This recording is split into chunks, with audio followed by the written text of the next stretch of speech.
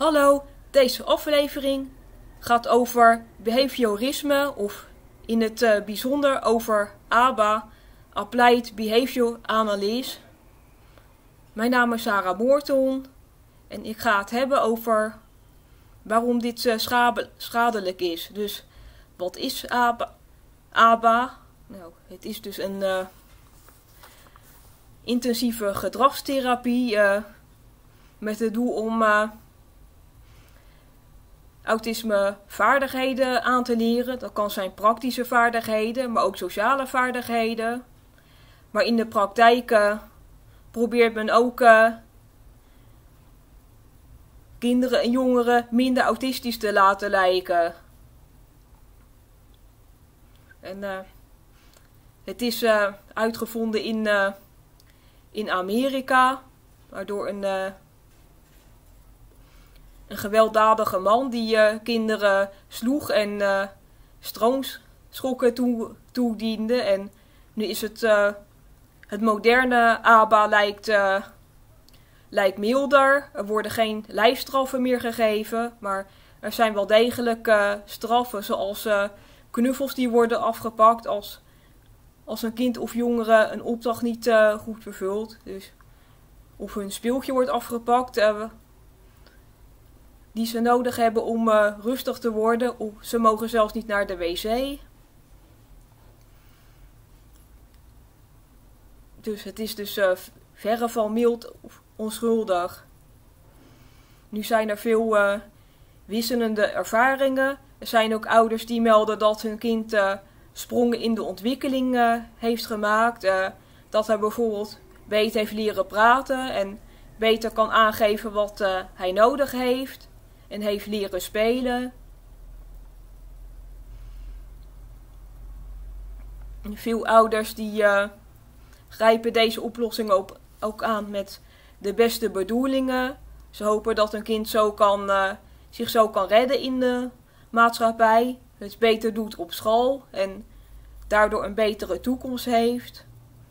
Ja, dat het onderwijs niet passend is, dat is natuurlijk niet het, de schuld uh, van, van het kind. Bijvoorbeeld als hij overprikkeld raakt door overvolle klassen of uh, door steeds uh, wisselende leerkrachten. Of dat de lesstof niet uh, op hem aansluit. Want ieder kind heeft zijn eigen leerstijl en kan ook vastlopen als hij het op, een, op de gewone manier moet doen.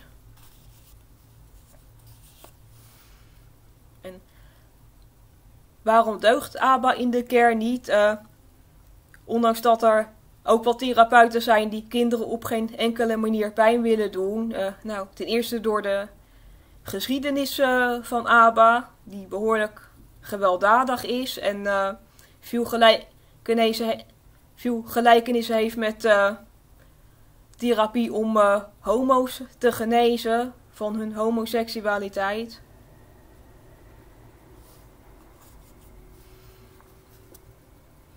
En over ABA las ik ook een uh, voorbeeld van een tiener die, zijn, uh, die niet mocht trakteren op school. Uh, omdat hij had gefladderd en omdat een andere opdracht niet was gelukt. En het is al vervelend genoeg, genoeg voor een kind of jongere als iets niet lukt. Al heb je het echt geprobeerd. En nu ging het trakteren onverwassen op het laatste moment uh, niet door, terwijl hij daar weken naar had uitgezien. Verdrietig kwam hij thuis en gelukkig had hij ouders die hem steunden. En ik heb zelf nooit ABA hoeven ondergaan, maar ik heb wel ervaringen met behaviorisme, bijvoorbeeld een leraar die me mijn autisme probeerde af te leren. Als ik niet enthousiast genoeg klonk, dan ging hij me nadoen. En een keer toen de muziek te hard stond tijdens een uh, week, weesluiting deed ik mijn handen voor mijn ogen. En hij trok letterlijk mijn uh, handen weg met de toevoeging: uh, doen anderen dit ook? Nou, als ik gevat had geweest, had ik terug kunnen zeggen: doen anderen dit ook? mijn handen wegtrekken.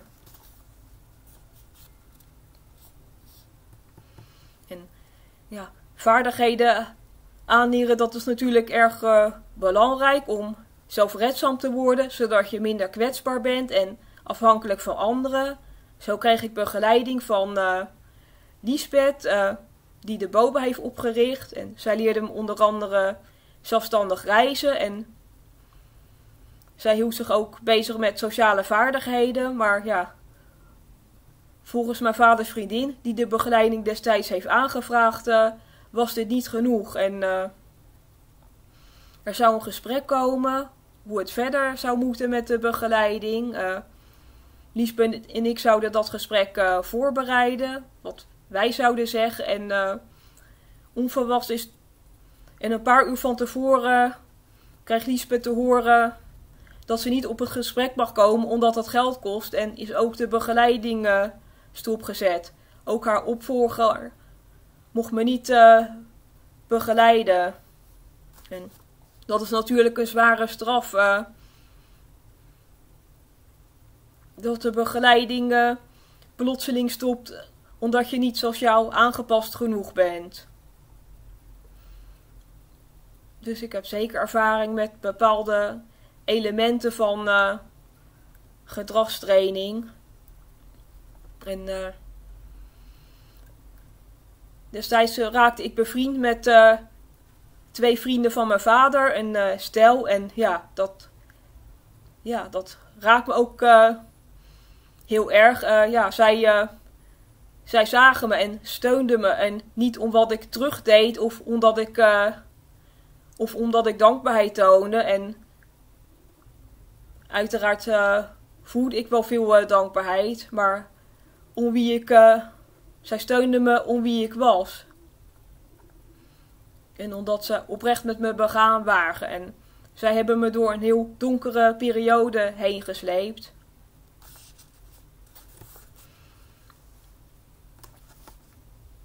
Hoewel ze niet konden voorkomen dat ik uh, depressief werd, uh, kon ik wel bij mijn verstand uh, blijven. Omdat ik zeg maar een klankwoord had. Zij hadden ook veel ze wisten ook veel van ontwikkelingspsychologie en, uh, en het belang van een vertrouwensband. Nou, wat zijn dan wel zinvolle manieren van begeleiden? Bijvoorbeeld individuele begeleiding, zoals het voor het aanleren van vaardigheden en het verwezenlijken van doelen. Het liefst de doelen van het kind of jongere zelf en de doelen van de omgeving mogen ook hun plaats hebben, maar die zouden niet leidend moeten zijn, tenzij het echt gaat om uh, noodzakelijke dingen zoals uh, zwemles. In dit waterrijke landje is het belangrijk voor je eigen veiligheid om te leren zwemmen. En bijvoorbeeld autismevriendelijke lesstof. En natuurlijk leert ieder individu op zijn uh, eigen manier. De ene heeft bijvoorbeeld veel aan een mondelinge uitleg en de ander wil het juist rustig na kunnen lezen. En, uh, en de, voor de een is. Uh, voor de een is uh, alleen tekst het meest duidelijk. En de ander heeft ook veel aan visuele ondersteuning. En ja, mijn persoonlijke ervaring is, is dat kleine klassen niet per se, prikkelarmer zijn. Maar ja, ja, ik pleit er wel voor dat er in iedere klas een onderwijsassistent is die uh, de leerlingen extra aandacht kan geven en uitleg over de lesstof. Ja, één leerkracht op 30 kinderen, dat is wel uh, een heel grote verantwoordelijkheid. En het is dan bijna onmogelijk om uh, ieder kind uh, de aandacht te geven die hij nodig heeft. En ja, voor vragen benader me gerust. Je kan een reactie achterlaten of me mailen. En uh, nou, tot de volgende keer. Ik hoop dat het jullie op weg heeft gebracht. Dag!